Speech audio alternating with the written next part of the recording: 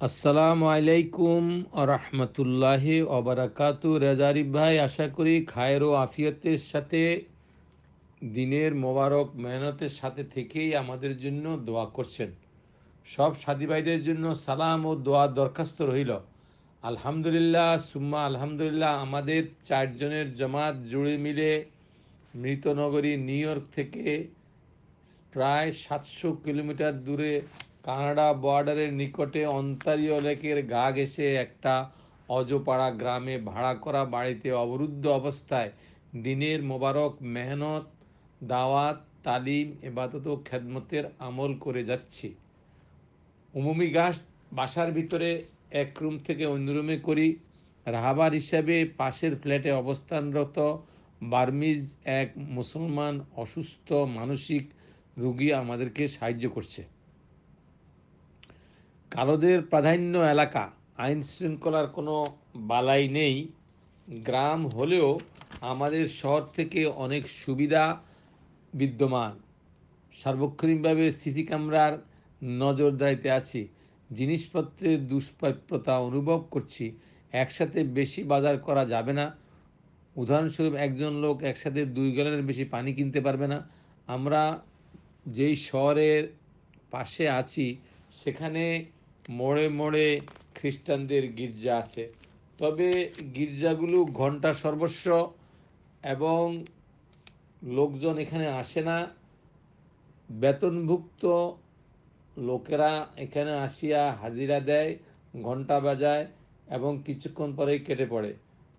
যদিও গির্জাগুলো বিরাট বিরাট বড় এলাকা দখল করে আছে। এখানকার লোকদের ভাষা অনুযায়ী মুসলমানরা এখানে প্রায় ষাটটি গির্জা কিনে বিভিন্ন ধর্মীয় অনুষ্ঠানে রূপান্তরিত করেছে। আমরা যে এইখানে আছি, সেই শহরে তবলিগের একটা মার্কাজ দুটা পুরুষের মাদ্রাসা ও একটা মহিলা মাদ্রাসা ছিল। বর্তমানে সবই বন্ধ। সাবধানতার সাথে মাঝে মধ্যে দু একজন পুরনো সাথী রাত্রেবেলায় এসে আমাদের সাথে দেখা করে যায়। এখানের অবস্থা হলো, এখানকার আবহাওয়া আবহাওয়ার বিরূপ অবস্থার এক লুকোচুরি চলছে। তবে সার্বক্ষণিকভাবে সব জায়গায়, যেমন গাড়ি, বাড়ি দোকানে শহরের, সব জায়গায় হিটারের বন্দোবস্ত আছে। এখানকার লোকদের ভাষায় এখন এখানে গ্রীষ্মকাল চলছে বললেও শুধু দিনের বেলায় শুধু সূর্যের আলোর কিছুক্ষণের জন্য দেখা যায়। রাত্রে বরফ পড়ে, সকালে ঘুম থেকে উঠে দেখা যায় গাড়িগুলো বরফের নিকট ঢেকে গেছে, বরফের নিচে ঢেকে গেছে। আশ্বাস সব সাদা, গাছগুলো, বাড়িগুলি সাদা, মাঠগুলো ছয় ইঞ্চি পুরু, বরফের চাদরে আচ্ছাদিত। সরকারি কর্মচারীরা রাস্তার বরফ এবং ব্যক্তিবিশেষ নিজস্ব বাড়ির আঙ্গিনার ও গাড়ির উপরের বরফ সরাইবার কাজে প্রতিদিন কসরত করে চলছে। আমাদের অসহায় এই বন্দি দশার অবস্থা শোয়েবে আবু তালেবের বন্দি অবস্থার ভয়াবহতা মনে করিয়ে দেয়। কিনা কষ্টে হুজুর সাল্লা এবং সাহাবিরা এই শোয়েবে আবু তালেবে করেছিলেন।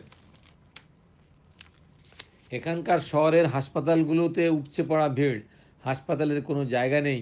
শহরের হোটেলগুলোকে সরকারি তত্ত্বাবধানে রোগীদের রাখা হচ্ছে। পূর্ব মুহূর্তের মধ্যে পাওয়া, পূর্বে মুহূর্তের মধ্যে পাওয়া অ্যাম্বুলেন্স আর এখন পাওয়া যায় না। ঘণ্টার পর ঘণ্টা কল ও অপেক্ষা করেও অ্যাম্বুলেন্সের টিকিও মেলে না। আশ্চর্যজনক হলেও সত্য কথা এই যে আমাদের সাথীদের মনোবল ক্ষণে ক্ষণে উঠানামা করছে। ডাক্তার হওয়ার সুবাদেই হোক আর কালক্ষণেই হোক, সাথীদের কাহারও একটু মাথা ব্যথা, একটু সর্দি, একটু কাশি ও একটি, একটু জ্বর সবাইকে করোনার ভিত্তিতে আড়ষ্ট করে ফেলে। সান্ত্বনা ছাড়া আর কিছু করার সুযোগ নেই। ওষুধ, প্রেসক্রিপশন ছাড়া এখানে পাওয়া যায় না। আমাদের ফিরে আসার ব্যাপারটা আরও অনিশ্চিত হয়ে গেল।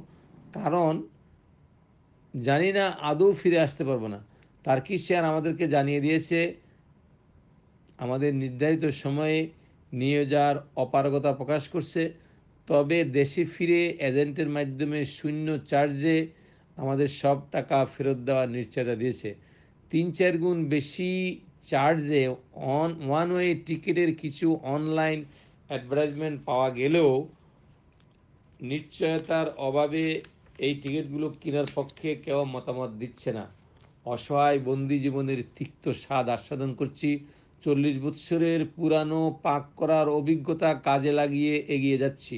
নবীন ও প্রবীণদের সমন্বয়ে গঠিত জমাতের অভাব অনুভব করছি। স্বাধীন ও সুস্থ অবস্থায় অলসতা এবং কাজ না করার আফসুস মাহসুস হচ্ছে।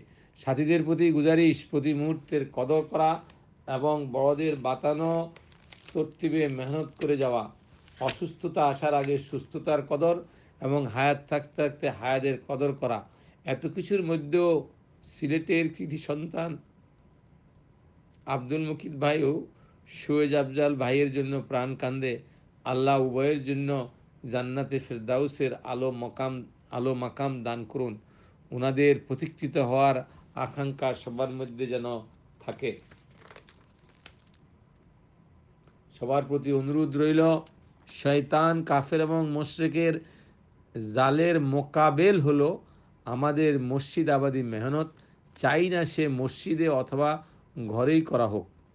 বড়দের প্রতি সালাম, কাজকর্মওয়ালা কাকরাইলের সাথী, ঢাকার সাথী, বাইরের সাথী এবং বিদেশি তুস্কিলের সকল সাথীদের কাজ করতে করতে শহীদি হওয়ার জজবা